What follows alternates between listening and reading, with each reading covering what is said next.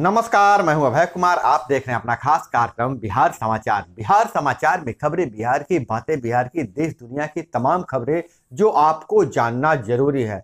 तो बिहार समाचार में हम खबर लेते हैं सत्ता के गलियारों से, पंचायत के गलियों से और गाँव के चौपालों से, जो कहीं ना कहीं आपके जीवन को प्रभावित करता है। और आपको जिसे जानना चाहिए तो पहली खबर यह है राजनीति के गलियारों से कि नीतीश कुमार ने मन बना लिया है कि 2024 में भाजपा का सफाया कर देना है। भाजपा मुक्त मुफ़्त भाजपा मुक्त भारत का उन्होंने सपना दिखाया है, ऐलान कर दिया है, राजगीर में चल रही थी।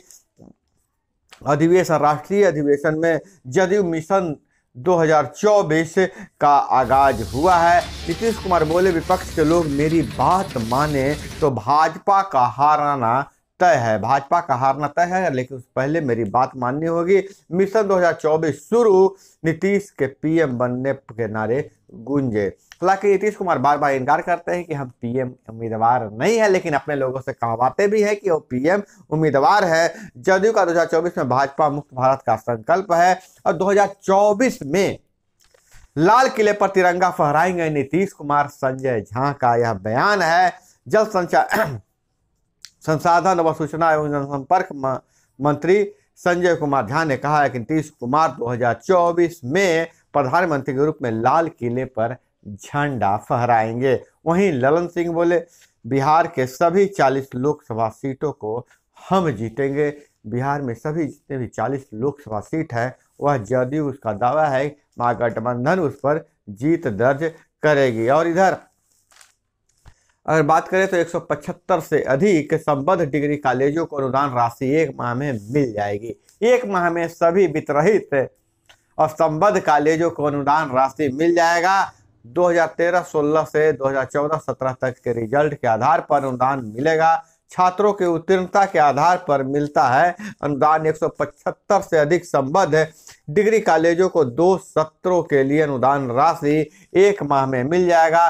2013, 2016 और 2014-17 सत्र के में इन कॉलेजों के रिज़ल्ट के आधार पर अनुदान राशि जारी होना है अनुदान राशि देने में देरी के लिए विश्वविद्यालयों से अनुदान राशि देने संबंधी उपयोगिता प्रमाण पत्र नहीं मिलना बताया जा रहा है, लेकिन अब वितरित कॉलेजों के लिए खुशखबरी है, उन्हें अनुदान राशि एक महीने के अंदर मिल जाएगी। और इधर हम बात करें तो गुजरात के एक सौ बिरासी नवनिर्वाचित विधायकों में से 40 पर आपराधिक केस दर्ज है 29 पर गंभीर मामले दर्ज। एनडीए और गुजरात इलेक्शन वॉच की एक रिपोर्ट में हुआ खुलासा और गुजरात पीएम की मौजूदगी में उपेंद्र पटेल शपथ ले रहे हैं और वहीं पंद्रहवें सीएम बने सुखू मुकेश अग्निहोत्री उप मुख्यमंत्री बने हिमाचल की अगर बात करें तो। और नीतीश कुमार का ताज़ा ताज़ा बयान है। जदयू के राष्ट्रीय अधिवेशन में मुख्यमंत्री ने कहा है, शराबबंदी सबकी सहमति से लिया गया फैसला है। पीछे नहीं हटेंगे। वहीं नीतीश कुमार ने कहा कि बापू की बात नहीं मानोगे तो दारू पियोगे तो देश को बर्बाद व खत्म ही करोगे। राष्ट्रीय अधिवेशन में बोले जदयू नेता नीतीश मॉडल ही देश का विकल्प है। नीतीश कुमार ने कहा, हिमाचल व एमसीडी की हार के बारे में क्यों नहीं बोलते हैं? भाजपाई वहीं कुशवाहा ने पंचायत चुनाव में दखल दिया। कुशवाहा ने पंचायत चुनाव में दखल दिया है, विरोधियों ने बदला लिया है। मुख्यमंत्री ने कुर्नी उपसभा चुनाव के हार की चर्चा की, कहा, हमारे उम्मीदवार मनोज कुशवाहा ने पिछले पंचायत चुनाव में कुछ लोगों की मदद की थी। इस दूसरे लोग इससे विरोधी हुए हैं और इस उपचुनाव में इन लोगों ने मनोज कुमार को, कुशवाहा को हरा दिया। मतलब कह रहे कि पंचायत चुनाव में जब बड़े नेता भाग लेंगे तो उन्हें हरा दिया है। हालाँकि जो निर्वाचन विभाग का जो नियम है, हालाँकि किसी कोई भी मंत्री या विधायक किसी भी पंचायत चुनाव में उनको भाग नहीं लेना है। लेकिन देखिए, हमसे कौन सा काम नहीं किया? नीतीश कुमार सवाल पूछते हैं, सबका पूरा ख्याल रखा, लेकिन वोट देना जनता का फैसला है, नीतीश कुमार ने कहा है। और वहीं अखिलेश जदयू के कांग्रेस के नवनिर्वाचित प्रदेश अध्यक्ष अखिलेश सिंह ने कहा है कि महागठबंधन में अन्य दलों को भी राजद और जदयू भागीदारी दे, तभी भाजपा हारेगी। कांग्रेस, प्रदेश कांग्रेस अध्यक्ष का काफिला आठ किलोमीटर दूरी तय करने में लगे। ढाई घंटे समारोह सवा घंटे में ही सिमट गया। कांग्रेस की सीट कभी जदयू तो कभी राजद लड़ लड़ जाती है। कांग्रेस की सीट कभी जादव कभी राजद, कभी जदयू लड़ जाती है। ऐसे नहीं होना चाहिए। उन्होंने कहा कि कांग्रेस की कुछ परंपरागत सीटें हैं जिस पर जदयू या राजद उस पर लड़ाई चुनाव लड़ जाती है, ऐसा नहीं होना चाहिए।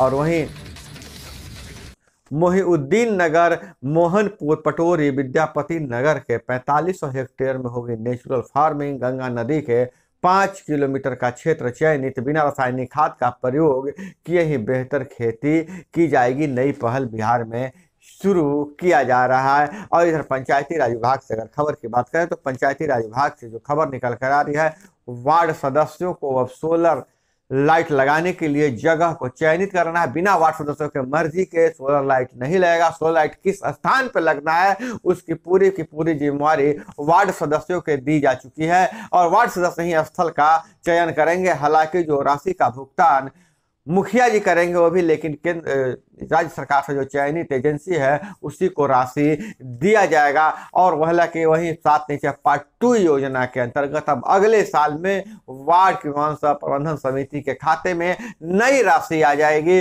उस राशि से जो वार्ड सदस्य हैं, वह अपने वार्ड में विकास करेंगे। हालाँकि जो मसौदा नया बन रहा है, उसमें सरपंच और पंच को भी इन्वॉल्व किया जा रहा है। पंच ग्राम कचहरी भी विकास कार्यों में, अब विकास कार्यों में हाथ बटाएगी। इसके लिए मसौदा तैयार है। अब आगे देखिए, शीतकालीन सत्र में क्या होता है? वहीं सुपौल में बर्दात हुआ है। अंतर्जातीय विवाह से नाराज़ भाई ने बहन के ससुराल पर बोला धावा। जीजा को मारी गोली। अपराधियों ने पाँच राउंड फायरिंग की। पुलिस ने बरामद किया एक पिलेट। और तीन बच्चियाँ हुई बीमार। झाड़ फूक के चक्कर में दो की मौत। समस्तीपुर से खबर आ रही है। और इधर विदेशों से खबरें की बात करें तो अमेरिका में भारतीयों को ग्रीन कार्ड मिलने की राह में पाक और ईरान लगा रहे अड़ंगा।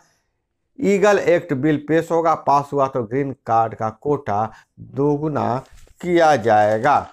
और इधर राजस्थान में खेती के आड़ में सीमा पर घुसपैठ की कोशिश किसानों ने डरा, किसानों को डराकर घुसपैठ कराने की साजिश। पकड़े जाने के डर से रेंजर ने फायरिंग शुरू कर दी है। तो दोस्तों यह थी वो तमाम खबरें जो आपको जानना ज़रूरी था। इसी तरह से खबरों के जुड़े रहिए हमारे साथ। चैनल पे नए हैं तो चैनल को सब्सक्राइब कर लीजिए। वीडियो पसंद आए तो लाइक ज़रूर कीजिएगा। मिलते हैं अगले वीडियो में।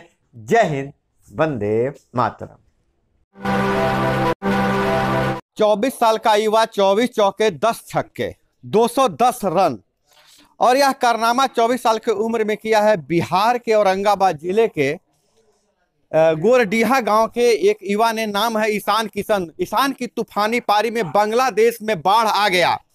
और हम आपको बता दें कि जो काम सचिन तेंदुलकर भगवान बनने के बाद कर पाए, सहभाग महान बनने के बाद कर पाए, वही काम ईशान किशन ने 24 वर्ष की उम्र में कर दिया।